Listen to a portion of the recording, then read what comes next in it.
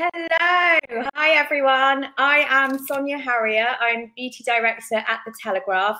Thank you so much for joining us today in what is the fourth session of Telegraph Beauty School in association with Latest in Beauty.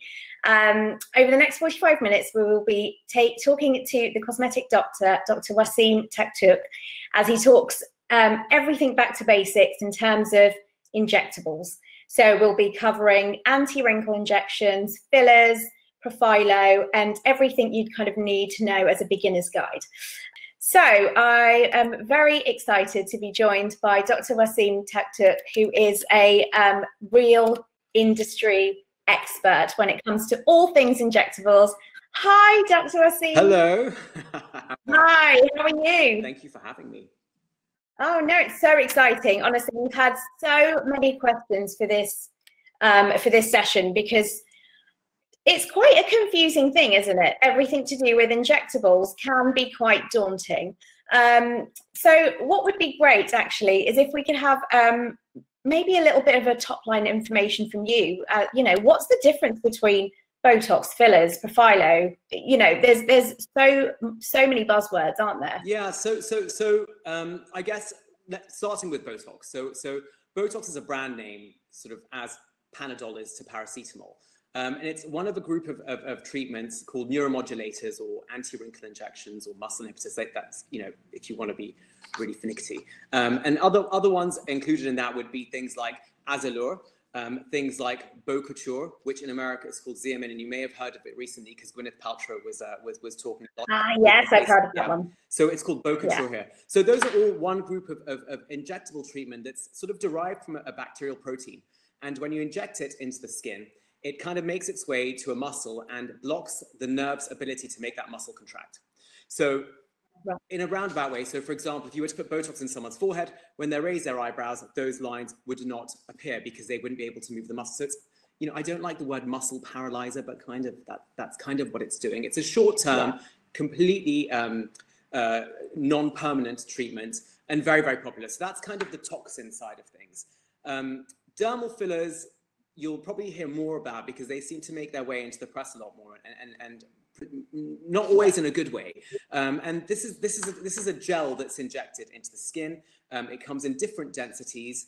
It's made of hyaluronic acid, which is something that we naturally have in our bodies. Um, and it's sort of a water sponge. And when you inject this hyaluronic acid, it draws water into the skin and it plumps it up. So that's kind of filling the line as, as by the name. Um, and uh, depending on the density, that the thicker the gel, the more it can lift.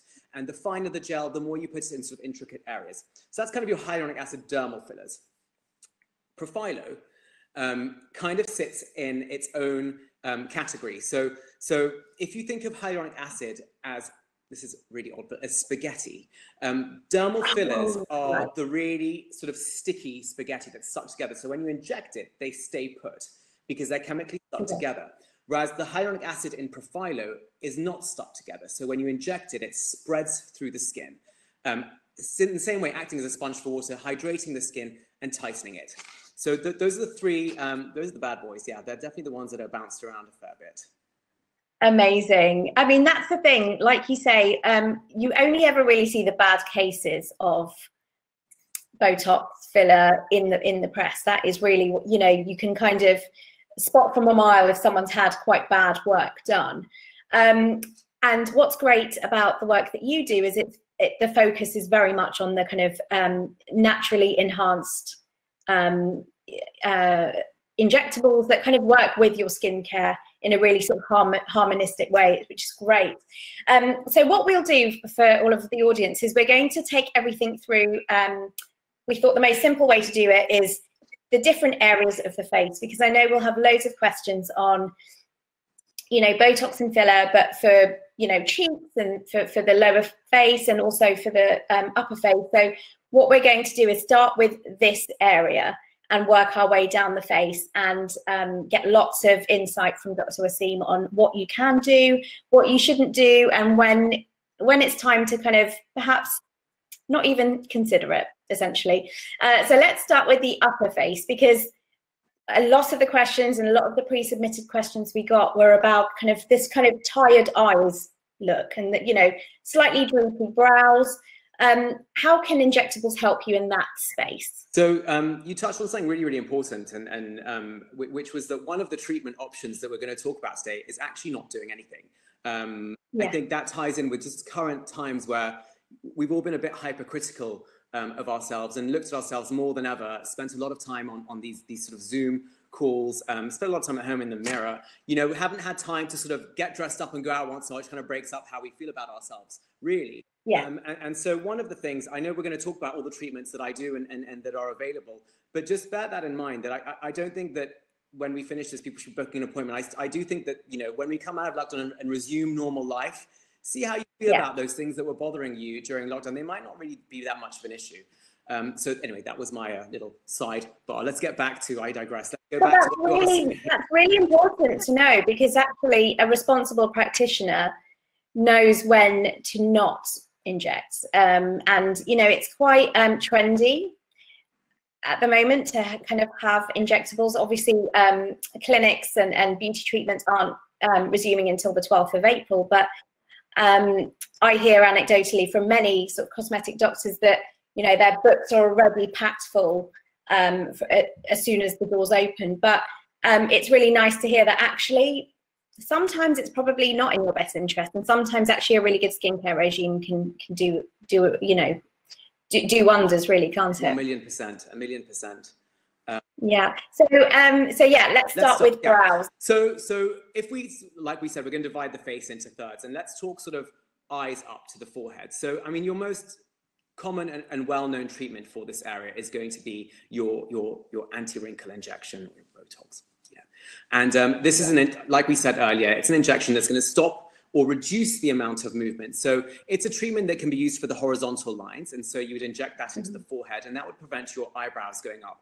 Obviously, the idea is to not do that. And if it's done subtly um, and, and, delicately and inject in just the right sort of dilutions in, in, the right points, you will still maintain that movement and raise your eyebrows, but those lines will just kind of be halted a bit and, and, and slowed down in developing. Um, so that's one, that's probably one of the main things that we do there. And we also do that for this area, which is called the glabella. Yeah. The, the 11s, which I think we all think we've got more now than ever because we've been squinting in front of cameras and um, you can definitely see that I need all of them. Yeah. but um, yeah, these lines between here, these are caused from contraction of the muscles above the eyebrows. Again, a really soft injectable would be would be a, a, a, toxin there, and that would reduce that movement, obviously, but not to make you sort of mannequin-like and expressionless. And those are the two main main ones that we use um, in the forehead when it comes to toxins. But some of the things that we can do when we understand how muscles move and, and understand that that with toxins, we can stop that muscle movement. If you look on that side here and I kind of squeeze my eyes tight, you can see that my eyebrow kind of pulls down. And so one of the things that you can do is you can put some toxin along the eyebrow, just underneath, and that will prevent the pulling down effect. So when we all feel that our eyes are sort of tired and like this, if you just run some yeah. toxin here and underneath the eyebrow, you're going to get a very gentle brow lift. Um, really soft. It can be really, really subtle. Remember, less is more. Always have a little bit with your doctor. Always go back and see them. I see everyone two weeks afterwards. Um, and, we'll add a little bit more if we need to. I think always start gentle and just see how much of a, a lift you get. Um, that's going to last about three to four months. So it's something to think about. If you do want to go down the uh, the toxin route, this is something that you're going to be doing three to four times a year. Um, okay. So that's something to, to, to, bear in mind when it comes to toxins there.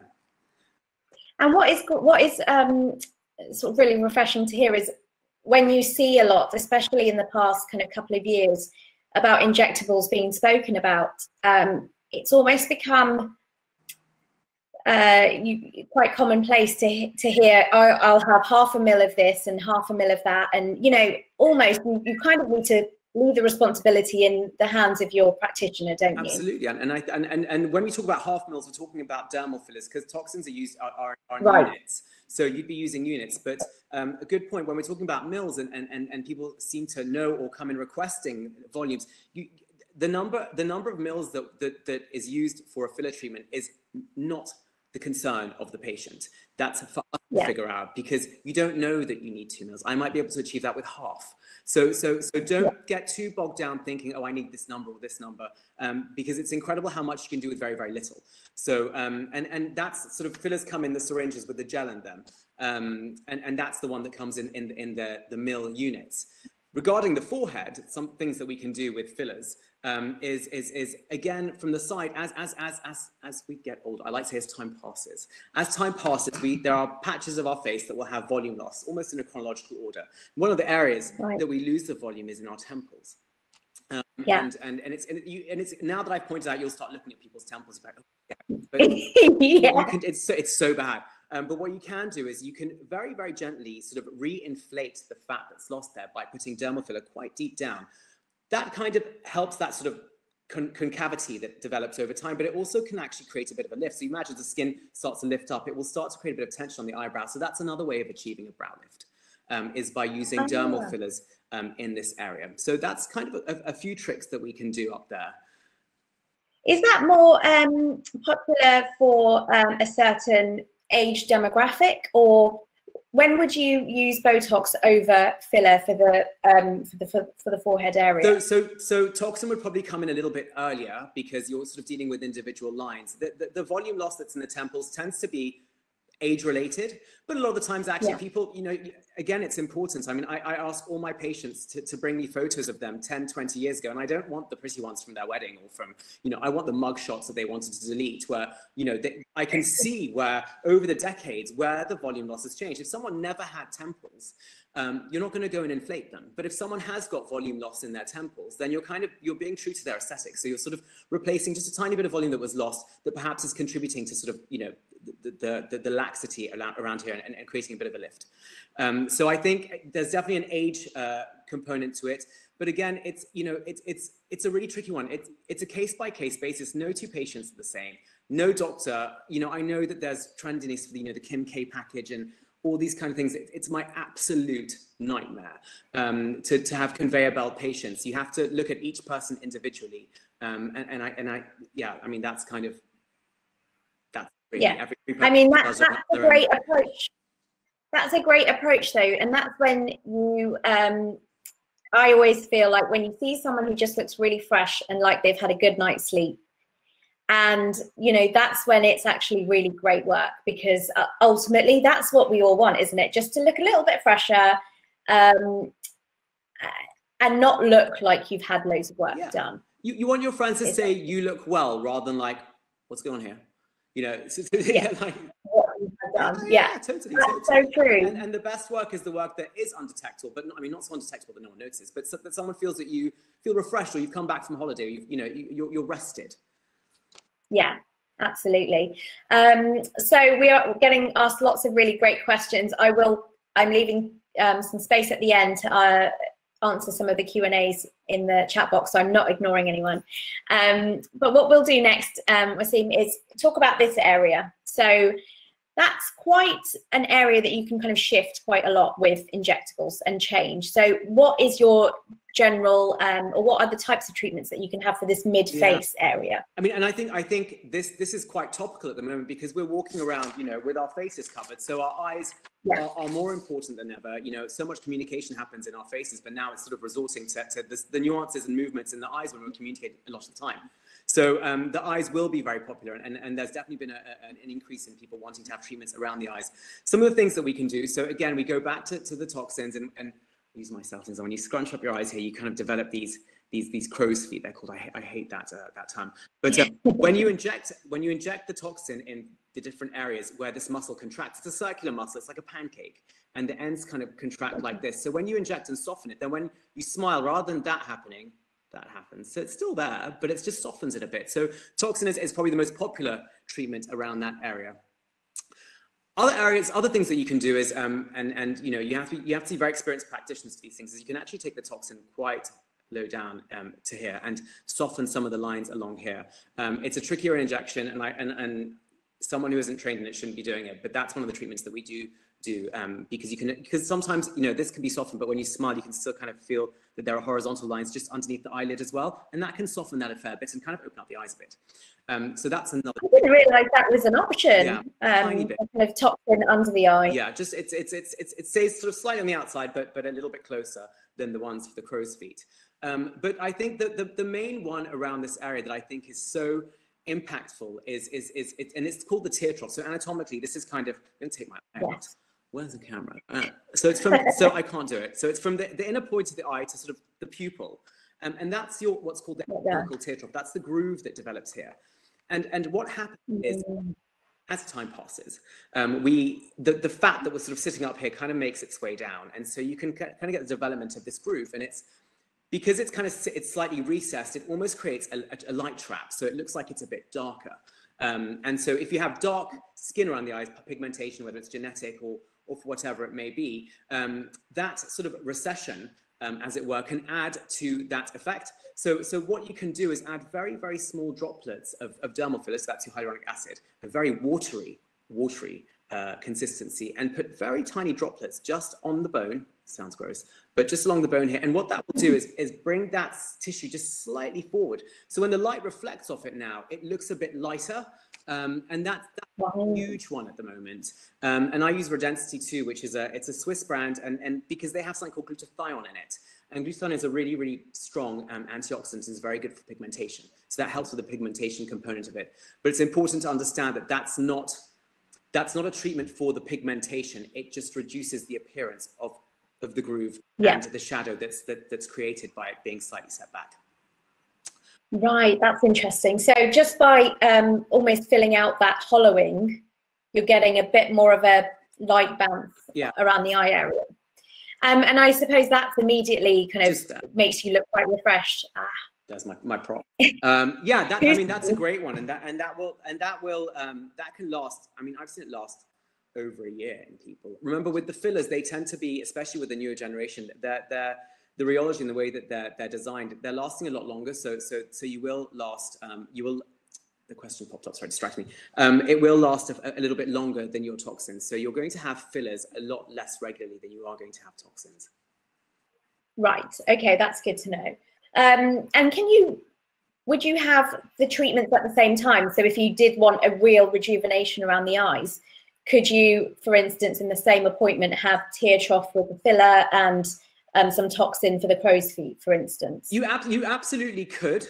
Um, and and I, and I have done that before. I, I, I call it mesmerize, um, and it's sort of like the combination. Um, but I, I, I, tend I tend to I tend to prefer if time if if people have the time to split them because I, I feel that sometimes you can't you don't know what to attribute the results to, and so then you end up every time going in having this these two treatments unnecessarily when actually it was the Botox, the, the toxin part that actually made the difference. And so I think it's important in the first one perhaps to separate them and then further down the line, um, you know, you, you could, it's something that, that you could probably do in, in one set, in one seating.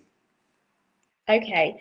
Um, okay, we've got a related question. Um, I will jump to all the questions at the end, but um, let's go to this one. What can you be done if your eyelids sag over your outer eye? Good question. So, so um, as, as, as time passes, um, we do get volume loss up here in the forehead. And I actually, um, the skull um, starts to become much more convex. And so where it was plumper and, and lifted, you kind of get, yeah. the skull goes back a bit. Um, and so the skin and the tissues that were supported do tend to make their way down a bit. And you can kind of get this development of, of a feeling of, of, of, excessive eyelid, eyelid skin. One of the things that you can do, so, so there's obviously the, it's like you can do it in a scale, don't you? So one of the first things that I would recommend in this area is, is toxin.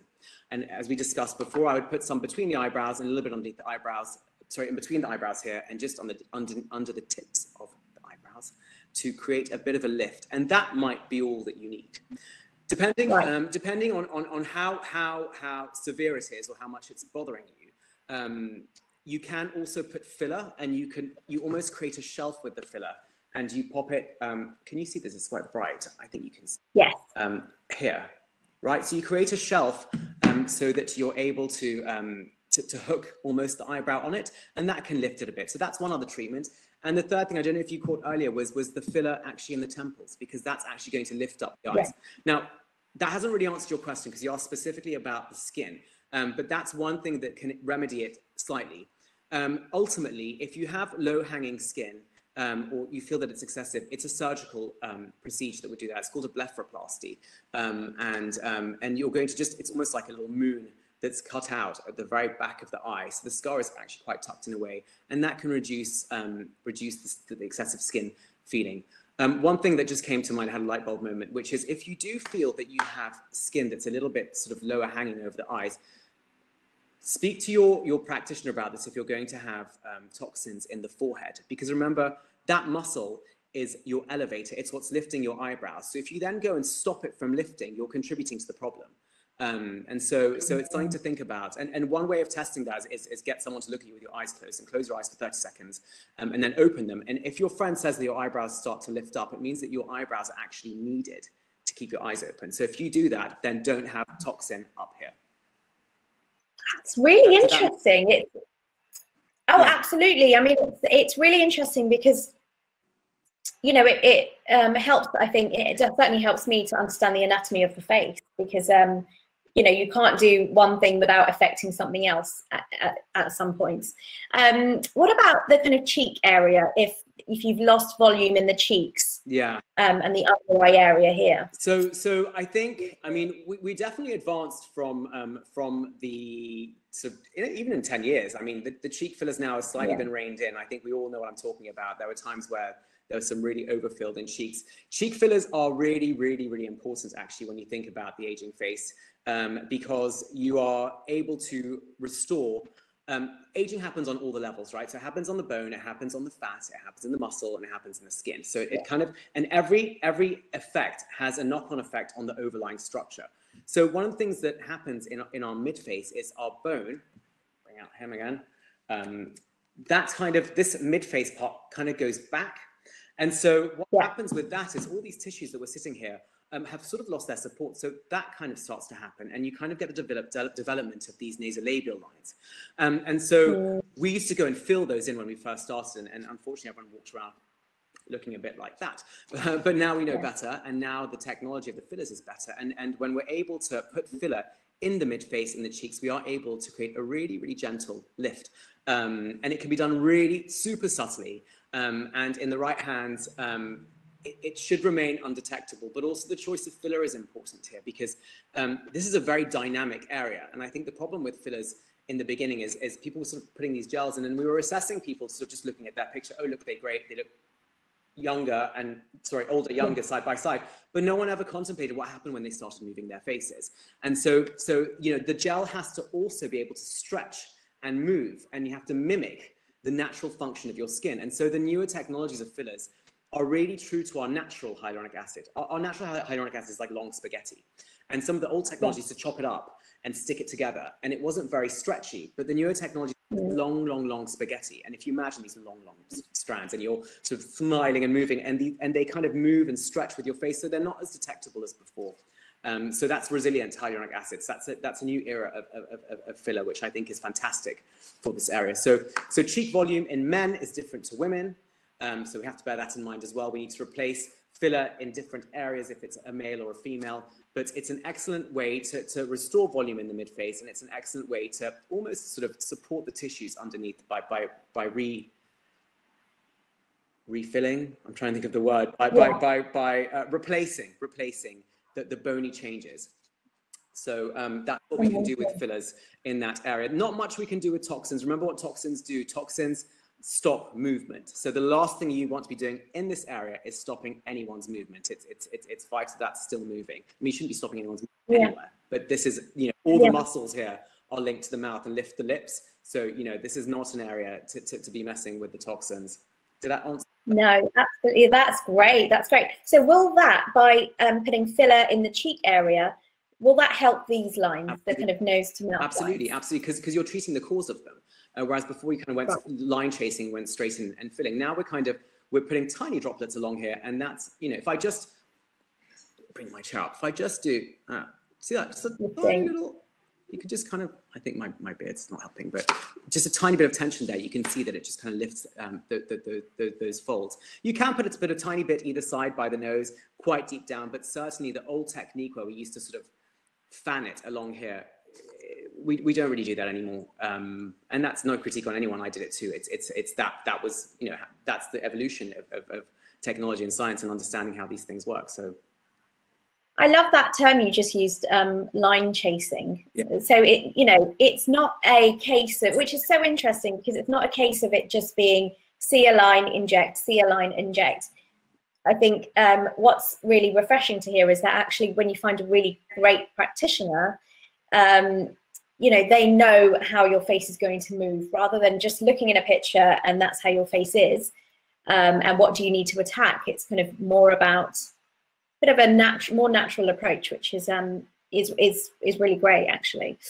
Um, so would you need um, would would you use Botox anywhere around this area? Not really. I mean, the lowest you're going is underneath the eyes, the one I mentioned before. Um, it's important yeah. again, like you know, you have to see doctors who are trained in this or, or, practitioners who are trained in this because if if the injector yeah. is hit too deep, they'll hit the muscle that, that that sort of pulls out the lip, and so you know that that that that they're they're not without risks. I think that um, we're quite blasé about the treatment sometimes. But yeah, I wouldn't I wouldn't be putting any Botox around here. Further down here in the jaw, we'll do, we'll do that in the next section. But but we we yeah. put it here. Um, Amazing. Um, so uh, before we move on to the lower face, yeah. um, I understand. So Profhilo is injected at some point in the cheek area. Um, it's become a huge treatment in the last year, you know, two or three years. It's really um, become so popular what is Profhilo and where would you, as a practitioner, inject it and what are the results you can see from it? So, so Profhilo is again, it's the same family of hyaluronic acids. Um, and um, remember, it's the spaghetti that isn't stuck together. So um, it's yeah. Italian and it's, it's, it's a beautiful, beautiful treatment. I love it, especially for people who are terrified of injectables um, because yeah. it's not volumizing. It's not going to change the way you look. Um, what it's going to do is flood your skin with moisture. Um, but in doing so, it's been shown that it stimulates collagen and elastin um, in your skin. It bioremodels is the term that they use. And so it almost creates a sort of a, a, a, a, tautness to the skin. So if you have very, very fine lines, it can help with that. It can be used in younger people, but it's really quite dramatic results in, in, in older skins as well. Um, and so it, it, hydrates the skin and creates almost a tension, a tightness to the skin. It's not a lift. Anyone says to you, you're going to get a Profhilo facelift, it's not true what you're doing is th- just think about when you go and you have a really good facial, right? And your skin has that dewy, hydrated texture and it feels a bit plumper. It's that on steroids. Like it lasts, it lasts for sort of six months. You're going to get it, and that's two treatments, and they're 28 days apart. And you're quite right. That is a treatment in this area. It's it's the lower part of the face um, that it was it was originally designed for, and also the neck. Um, but it's had such great, great results in terms of helping with skin laxity that now we use it pretty much everywhere. We use it in hands, we use it in elbows, knees, tummies, arms, you name it, uh, we're using it. And it's, uh, it's proving to be a really, really beautiful treatment. The, the, technique is to do two treatments, 28 days apart. That's the official protocol. I actually, I go a little bit off piece sometimes and, and I will do three. Um, I think that's proving, and I think I'm not the only one doing that. I think that sometimes you just need that last bit of oomph and it just does it, um, and it looks really, really nice. And it's it's like I said, it's hyaluronic acid. Um, it's very, it's it's very, it's not cross-linked, um, and and yeah, it's a real, it's huge, isn't it? It's it's really, really. Um, it really is. Yeah. I mean, I feel like when it first, um, when I would first start hearing about it, it was around, it was about, you know, I think it was referred to as a five-point facelift, which it isn't, as you say. It is essentially um, makes the skin look incredible, doesn't it? Yeah. Rather than um, lifting or um, uh, freezing, yeah. you know, as other injectables it do. It can feel like is it's it, lifted, it but it's just not. I don't think it's yeah. correct to say that it's li- it's a lift. So you can get yeah. when you look at the skin, and it's incredible. It does has an appearance of it being lifted, um, and that's because the collagen and elastin have been stimulating it, and the skin's hydrated. Wait, sorry, I interrupted that, but yeah. No, no, no, that's great. Is it good for um uh, like sort of crepey skin? It's perfect. Well? Is that ideal, ideal, ideal, and it's great for the neck as well. It's ten points in the neck as well. Um, it's uh, downtime is about a day. So if you imagine you're kind of putting these deposits of this gel in these five key areas that are des- that, that, that, that they're designed there because they're safe to put there, but also the spread from those five points um, will coat the skin beautifully and lift in, I said, see, I just said lift, and will tighten the skin um, in that area. And same with the neck. So um, they're sort of design protocols uh, beforehand um, and really, re- really, really nice. If you're, if anyone's on here and they're scared to try the toxins and they're scared to try the fillers, this is the treatment for you. Um, any Profhilo or any of the skin boosters, there's an excellent one called Redensity 1, which is hyaluronic acid. Again, it's not stuck together, but it's also got vitamins. It's like a meso, and that gives a really beautiful also skin glow. So I think the, the Redensity one, the Profhilos, those treatments are the ones for beginners who just want to dip their toe in it, and they're not permanent. And if you don't like it, you never do it again. No one's going to figure it out. Um, you know, you're just going to look, you're just going to look really, really, really just fresh. Yeah. Oh, that's amazing. I mean, that's all we want. Especially, I can imagine that being quite a popular treatment when everyone comes out of lockdown. Um, so let's do the lower part of the face now because that's a huge topic. Um, what could you do around this lower face? Would you use toxins? Would you use um, fillers?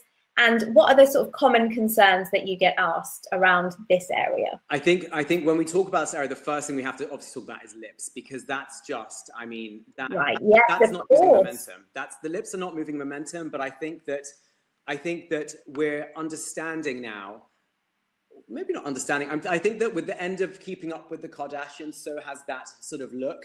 Um, and we're sort of taking yeah. it right back to basics and, and to looking at people's lips. Everyone's lips are unique. My most frustrating consultation is someone comes in with a picture of someone's lips and says, I want these. And their, their mouth doesn't look like that. And even if I gave them those lips, it wouldn't look right. You have to you have to be respectful of someone's natural aesthetic. So, and, and the fillers have come a long way um, now. And, and, and they are watery now, so you can put a very light fill in the lip just to look like you've got to put a gloss, and you can volumize a fair bit. But I think I think the lips are obviously still, uh, you know, the number one filler area that everyone thinks about. You know, you don't hear temple fillers, you don't hear, you always hear lip no. fillers. So, you know, they, they kind of come as, as two words together. Um, so lips are an area that, um, you know, what happens as we get older, as time passes, um, is this area here gets um, longer and the, the, the, lip kind of turns in. We used to think that you lost volume, but we don't. Now what happens is it kind of turns in. So the white part of the lip becomes longer. The lip almost turns its way in. So you haven't lost your lip. It's just that it's kind of tucked in almost. So a, a good aesthetic practitioner can, can fill it up enough just to turn it up a little bit. But again, staying true to your natural lip shape and contour. So that's that's what we do with lip fillers now. Hyaluronic acid is the treatment of choice in this area. Um, again, as with all fillers, we'll talk about safety afterwards. Um, um, it's really, really popular, but also the lines around the mouth. So let's talk about smokers' lines, which, yeah. by the way, are not unique to smokers. In fact, many non-smokers have them. Um, and these are the lines that, that happen above the but actually you can sometimes get them under the lip. Um, you can treat them with, with, with toxin, very small droplets of toxin. Um, it's okay. Um, it's not my favorite because I think that although it looks fine, I think people sometimes feel that that they're talking they feel that that's how they're talking but they're not. Um, and they kind of drinking um, you know it, sipping from a spoon or from a straw like just feels a bit funny sometimes. So it's not my favorite. If you have a look you have to obviously assess again case by case basis but if you have a look at the skin around here if it's that they've lost a bit of volume is it that they've lost some fat in that area? Well then you can put again a watery filler a resilient hyaluronic acid the stretchy one. You could fill in tiny little strips in that area and just bring those lines forward a little bit. Again small amounts right amount. Um, you don't want that. Um, so that's that's something that you can do with fillers um, around here.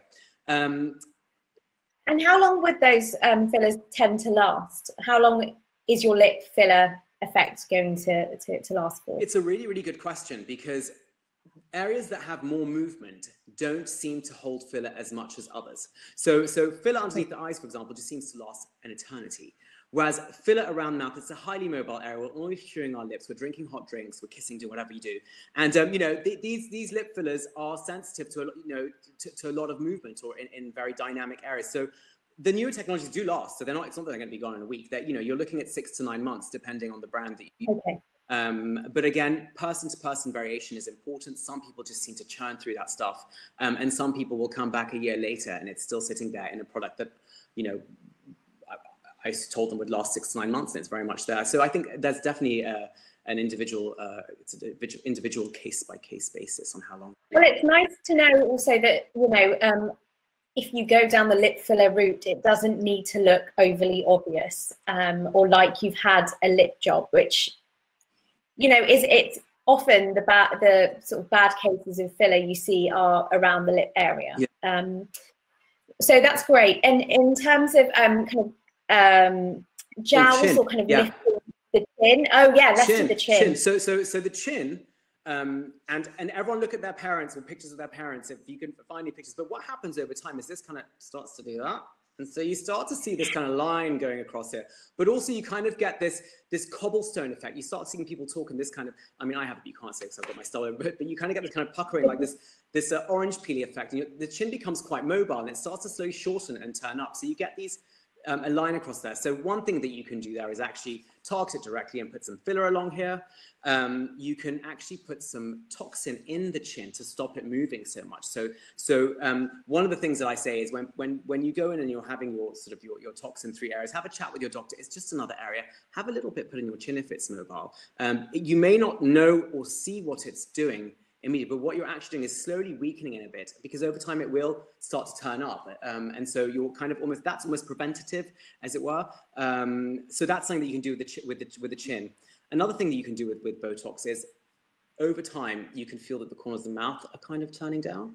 Mm. And there's a muscle that starts from the corner of the mouth and it attaches to the jaw. And that muscle can be relaxed a tiny bit with, with, with toxin so that the, the corners of the mouth go up, not like the Joker, like just so it's just kind of a bit more horizontal. Um, it won't go up, don't worry, but uh, it, it, the pulling down effect. So that's something that you can do.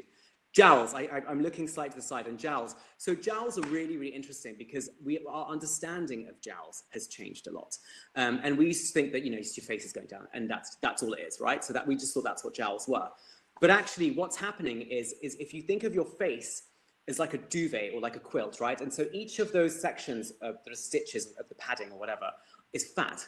And, and, and as time passes, some of that fat gets bigger and some of that fat gets smaller, which explains, explains the changes in the face. So this area, this sausage bit of fat gets bigger as you get older, which is why that also contributes to nasolabial. But I digress. Back to here. What you have is, I'm going to use this guy. You have a ligament right here, and you have a ligament just behind it. And that attaches the skin to the bone.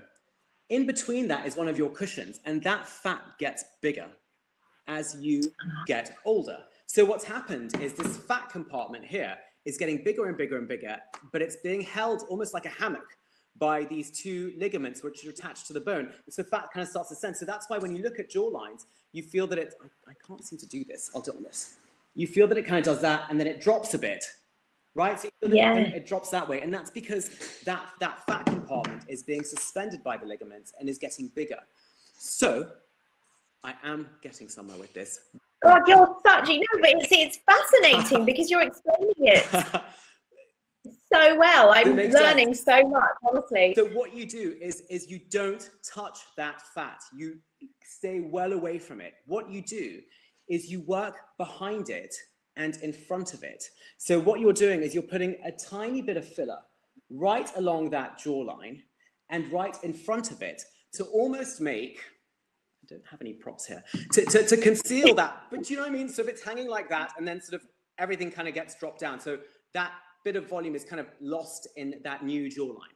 So you're essentially moving the jawline down a little bit a, a, point to add to that is I do think you should have a little bit of cheek volume as well because that will lift it a bit as well. So you're kind of concealing from here and a tiny bit of a lift from here as well. So that's what you can do with jawline. Jawline filler is so huge at the moment.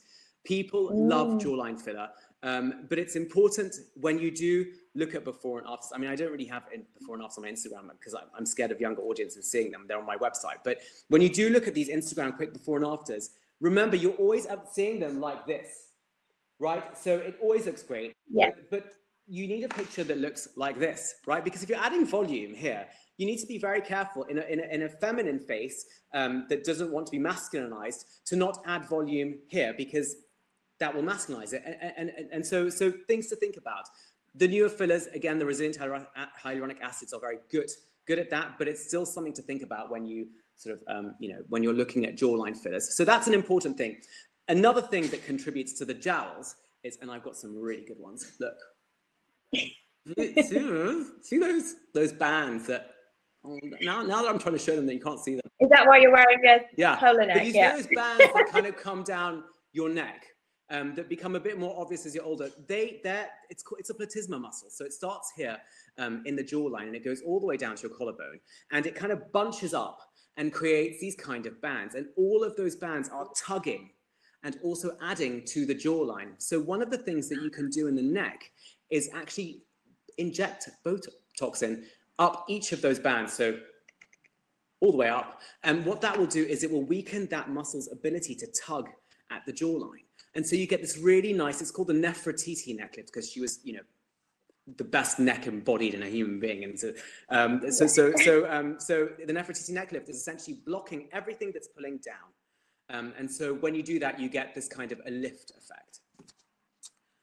That's so clever. I, I mean, I just.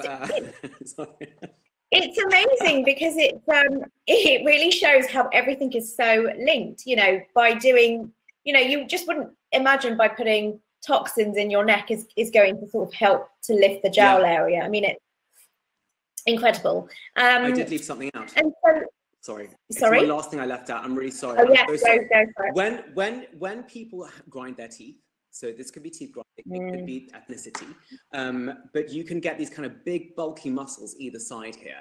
Now, some people like them, but if you find that your your face is a bit squarer and perhaps you want to have a more heart-shaped face, um, one of the things that you can do is actually put toxin into the muscles. Those, those. So if you bite down and you can feel that muscle uh, bulging out, when you put toxin into that, that yeah. will weaken that muscle. It's not going to weaken it so much that you know, walking around with your mouth hanging out, but it will soften it a bit that that muscle over time will start to shrink and your face will kind of achieve a slightly more heart-shaped face. So that was the other thing before we moved down. And, and, and I was... That's really interesting. That's fascinating. So um, what would be great is if we could kind of touch on um, uh, injectables for men uh-huh. um, in a just a, in a very sort of broad um, way. Where would you, um, how would you change that treatment for kind of any part of the face um, for a man? Because obviously you, you're treating the faces yeah. very differently so, for female. So, so for example, do you mean in all the different parts from from top to bottom? Uh, yeah, well, essentially, it would be it would be great to kind of um, touch on broadly speaking, kind of what you could do to re- refresh yeah. the upper part of the face and also the lower part of the face. So, so I think I think with forehead lines, I don't think it's. I think that men should have them personally. I think we can kind of soften. I call it resting resting man face. So that that kind of happens, and and and so I think that that can be softened a fair bit. But I don't think we should be too obsessed with moving. You can soften them, but certainly that that sort of that loss of, uh, of any expression is a no-no for men, and, and, and, I, and I try to dissuade everyone from doing that. I definitely think this is an area that can be treated. I think these are quite charming, um, but I think that they can be softened a bit if they get too deep. I, you know, I think expressions are so important. So I think that you can keep um, the lines here. So I think with men, I think the trick is the same tricks apply. Um, I just diluted a bit more. I think um, you know certain areas like you know lips. You'll never you, will never live down Freddy Fish lips if, you, if if if it's too obvious. Botox, you know, Botox around, it, sorry, fillers around the jawline. Yes, there's a bit more leeway because you, you, know it's okay to add more volume here because it's it's in keeping with a with a traditionally male aesthetic. So so you can um, you can sort of put the volume here. Um, other than that, they're not too far off. They're not too off. I mean, the requirements for men are slightly different. I mean, the, the brief is always don't let anyone know that I've had anything done.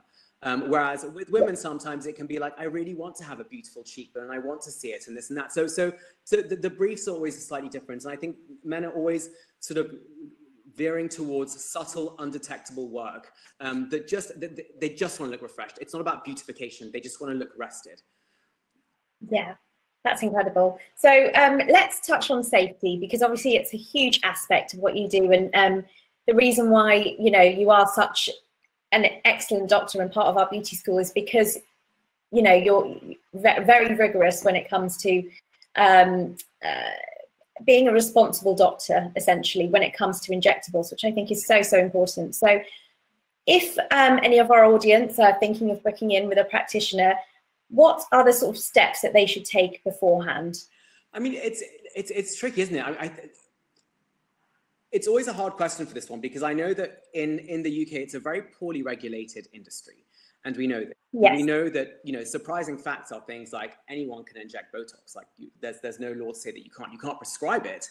Um, but, but, and anyone can get fillers, you can get them online. So there's a, there's a real, um, problem in, in, in the in the UK. And I used to always think, oh, when when this really horrific case is going to happen and someone gets blinded or or you know then regulations will change. But we've all seen them. Like we've all seen these horror. I mean, yeah. they're everywhere. You can see the, the the, the disaster cases, and you know the, the, the times when filler has gone into arteries and had some nasty consequences at times. Um, you know, thankfully none of them permanent um, but there can be the occasional permanent problem so i think you have to remember that this is your face and i think one of the things to always think about is is i find i find it astounding sometimes that people what people will spend um, on, on a haircut, uh, but they won't do it on their face. Like people's, it's incredible. It's really fascinating, yeah. people's psyche. And I think it's just not an area um, to, for, for the part of your body that's the most visible, it's not an area to sort of, you know, look for deals and this and that. So the first thing I would say is you need to find someone who is trained, right? And by, by that, I mean a, a, a doctor, a dentist, a nurse. I mean, the, the, the, people who have worked in the field, um, who have good study of anatomy. Um, more importantly, someone who you know, should, I don't want to swear, should something go very, very wrong, that person can correct the problem and is able to prescribe the solution. Because sometimes yeah. what happens is, you know, and, and I'm not saying this to scare anyone, but one of the consequences of fillers or fillers injected in the wrong place is that it can cause a, a, reduced blood supply to a part of the face, right? And this is this is for all intents and purposes horrible, and it's a medical emergency, and it needs to be dissolved, right? So who's going to who's going to treat that for you every minute counts you need to know someone who is going to know what they're doing because the longer you leave it the more the problem is going to be difficult to reverse so i think three things to look at if you're looking for doctors make sure that they're gmc registers that's the general, general medical council um, and you can go onto their website you can type in the doctor's name and you'll see um, that they're registered. If it's a dentist, it's going to be the GDC, the General Dental Council, and if it's a nurse, it's the NMC. Um, the, the, the, the, nursing council. And, and I, I say that with a proviso. I'm not saying that someone who I'm, I'm just going to take an example, right? So, so, so someone who is a nail technician, right? I'm not saying to you that that person does not have a better artistic eye than me or any doctor. So, so don't just because you're a doctor, it doesn't mean you have an artistic eye or an, an understanding of aesthetics. They don't teach you it at medical school. So that's yeah. not what I'm saying, and I'm not disrespecting anyone's ability to say this is good work, this bad work. We, you know, we're all we are all able to, to, to, to make that decision, and, and and there is a lot of talent out there. I think the concern is when something goes wrong, what is going to happen then? And that's when you don't want to be playing around with your face, and that's why you know the first thing to do is to see that someone is um, is registered. There are other sort of um, lists that are out there. Um, people do the, do a lot of the research for you. So you've got things like there's a there's Save Face is one of the companies that does a lot of lobbying um, for safer practice. You have um, there's a the JCCP is another uh, uh, organization that these are voluntary registers, but they are you know they're they're quite good to, to have a check. Um, CQC is, is a system that goes and checks um, clinics and makes sure they're up to scratch and their protocols are up to scratch. So, so those are other things that you can do, but also look at that training. I mean, I, I'm going to do a shameless plug now. Um, I founded the London Academy of Aesthetic Medicine, um, and it's a, it's a school alongside Dr. Sheila Nguyen and Dr. Tara Francis, and we teach all these procedures, and we are militant about who leaves and who gets certified, and they have to have every single thing ticked, crossed, before we let them pass. And I think the training, I mean, you'd be surprised how people are doing it without training in place. So, um, so that's important too. Um, Alice Hart Davis has the Tweakments um, guide. I think I think she's great as well because she she spent a lot of time having the treatment. So it's it's not sort of a company coming around saying, oh, well, you know, you know what to do when there's a fire alarm, or you know what to do. This like it's actually someone who's firsthand tried it. So she has a Tweakments um, Tweakments guide online. That's another uh, great resource. Um, but before and after, speak to doctors, look for reviews. I mean, the best, the best, best is word of mouth, right? It still is. Still yeah. is word of mouth. Like it beats any Instagram find or any sort of landing on a website. It's it's someone that your friend has seen who can vouch for it, and you've seen the work. Yeah, that's that's really. I mean, it, it it tells you though, doesn't it? You can kind of, um, as we've sort of mentioned, you can spot bad work a mile off and and kind of know that you don't want that but it's kind of um, pinpointing the, the natural looks that you can go for. Um, I'm just going to take um, go over to a few of our questions. Um, so we've had a couple of questions about. we've had um, yeah he's he's very popular. What is the skeleton's name? Should we name him? You, I think we should name I, him. I think best name, please. P pop your entry. I I yes, best name. Um, so we've had a few um, questions about thread lifts. Yes. Now, um, I know thread lifts are kind of, um, again, one of those quite popular treatments, um, and it sort of goes up and down in popularity. Um, what are your thoughts on, on thread lifts? So, so to be very yeah, honest. So thread lifts is, is quite a broad, uh, broad uh, title. So within the category of thread lifts, there's two main players. And you have something called PDO threads, and these are threads that were traditionally used in surgery. So they're, they're, they're threads that you sort of suture sort of organs when you're doing surgery, and they eventually um, they eventually dissolve, right? And so these are very popular in Korea, um, and these are sort of in, uh, sort of inserted in a needle. So the thread, so that's the needle, and the thread's inside it. You put it into the skin, you pull the needle out, and the thread stays inside.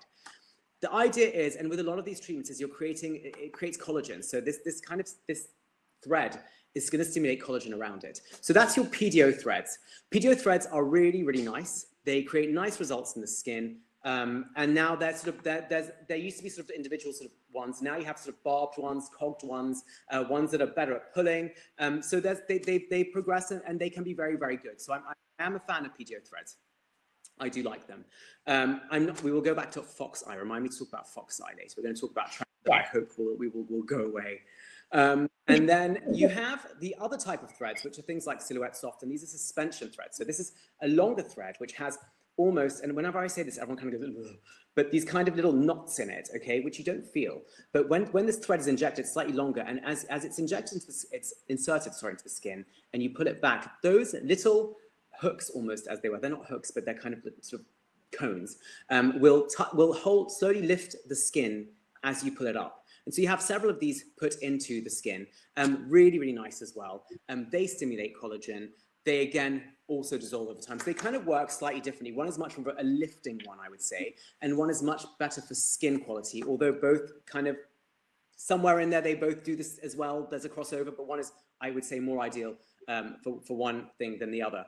Um, really popular. Um, I do find that on their own, um, I prefer sort of combination treatments. So I, I, would probably, if I was going to do threads with someone, I would probably work on their skin as well. So it might be in the form of Profhilo, it might be in the form of, of fillers. Um, it might be sort of some of the newer fillers that stimulate collagen, like there's one called Ellansé, which is quite good. So I, I, find combination treatments when it comes to threads prove to be a little bit more satisfying.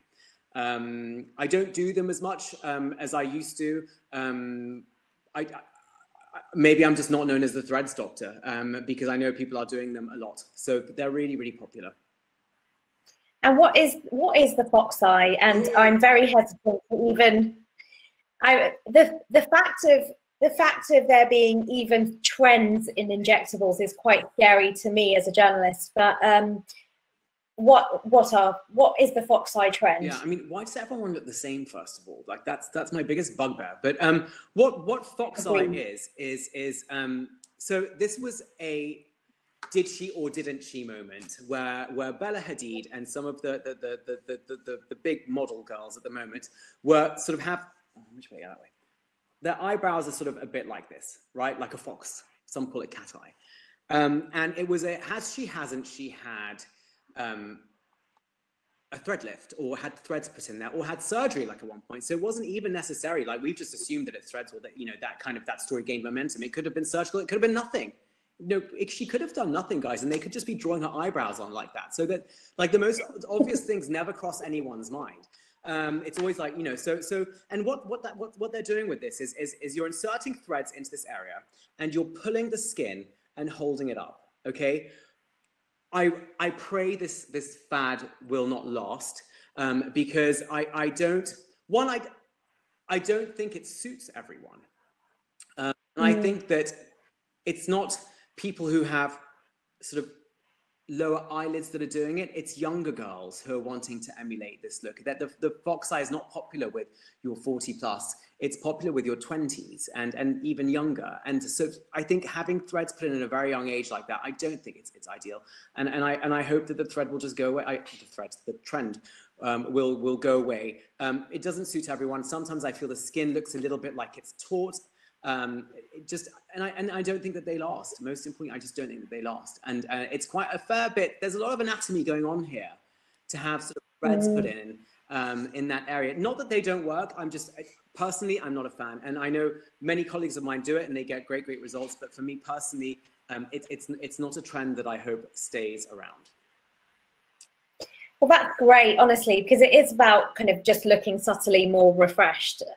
You know, ultimately, um, we're asking. Um, I think we're, we're we are running out of time. Honestly, I could speak to you all evening. um, I'm going to. I've got two more points just to touch on. So um, Sue, thank you for asking about the Morpheus 8. Um, we have covered that in a previous session of Telegraph Beauty School with um, Neelam Holmes. Um, we've covered that quite extensively, but um, actually one thing to flag, because I know the Morpheus 8 has been in the press massively. I've written about it extensively because um, Judy Murray had the Morpheus 8 treatment and Dr. Judy, Ju- Dr. Judy Dodd, who did Judy's treatment, is actually going to be working with Dr. Wassim Taktouk in his clinic come April time. So actually, all of your Morpheus 8, um, you know, solutions will be solved by um, within your clinic as well, Dr. Wassim, yeah, wouldn't no, absolutely, they? Absolutely, So that was, I mean, I, I, I have the biggest gob in the world. My friends call me BMW, Big Mouth Wassim. And I had to keep that story quiet from last year um, until it came until it came out. So it was really great that it, it, it was so explosive. Um, but it shows that I mean it was incredible yeah. results, yeah. Um, and you know it's it's fantastic that um, you know Dr. Judy will be at the Taktouk clinic yes. um, when it re- when it opens um, mid-April.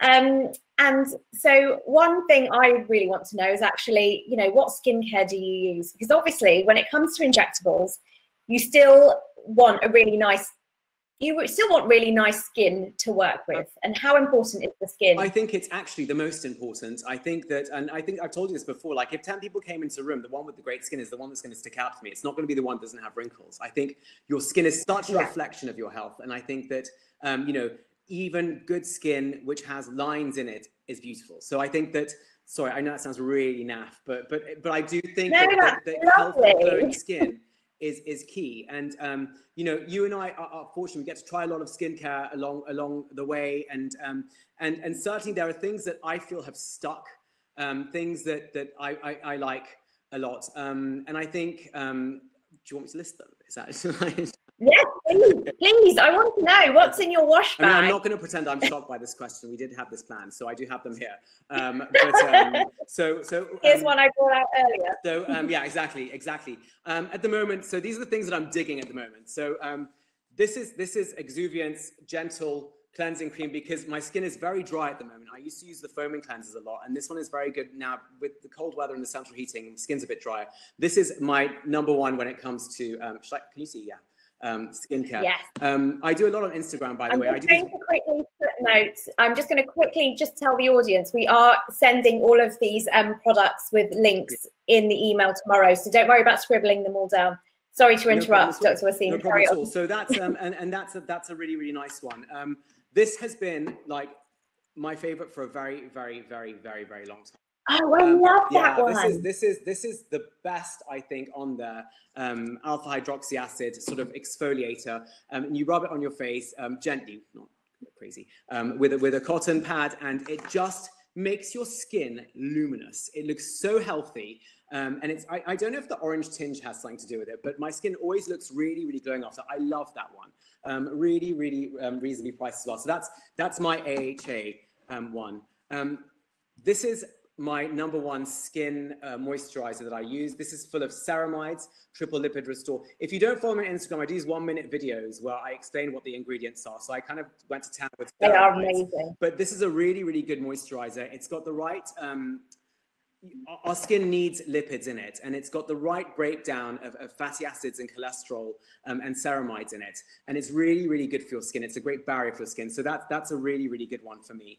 Um, my other hero product, which I love, love is um, this ZO. It's this exfoliating polish. Um, not often, you mustn't scrub your face often, but when you do, this one just, just always smells so clean. If you tried this, it's amazing. Anyway, that's yeah, I love that. I love that one. It's a good and I actually ran out of my last one, which is which is a retinol that I that I use, and it's it's uh, it's by Medik8. It's called R-retinoate Intense. It comes in a, in a black pump. Um, I've run out, so I'm using their their Crystal Retinol 10, which is um, which is uh, which way um, which is a, a, really good one. Medik8 are really, really good. They have a really good range of, of all of those brands, by the way, that I've mentioned are excellent. Um, and, and, and I'm speaking from firsthand experience I, I, I that they sort of, um, I use them daily. So um, those are my favorites. Amazing. Oh, it's so great to hear actually what a cosmetic doctor uses in his own wash bag because, um, you know, like we say, it the the skin is the best foundation for good injectables, isn't it? Absolutely. And if you do nothing except look after your skin, you're already winning.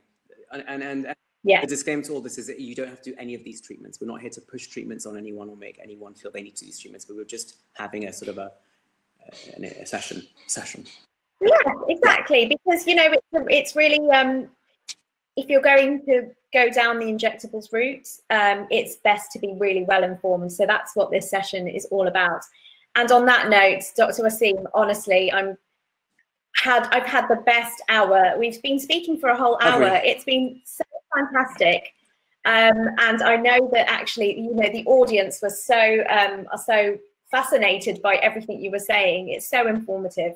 Um, and also, you know, also I love the fact that you kind of debunk the fact that injectables need to look really obvious, and you know they don't. They don't. And also the fact that you don't need them. Sometimes it's best to not have them altogether. Absolutely. Um, which is very refreshing to hear from someone who um, whose trade is injectables. Um, so that's so fantastic. And actually, Dr. Wassim um, Clinic will be reopening on the 12th April 12. of April. Are you getting ready for that? I am. I am. I'm nervous, but I'm excited. Yeah. It feels very grown up. Yeah. um, I'm sure your, your books are going to be brimming full from April 12th. Um, so all is left for me to say is thank you so thank much, you, Dr. Wassim. I've had an excellent session with you, and thank you so much for joining us in Telegraph Beauty School. Thank you. Thank you, everyone.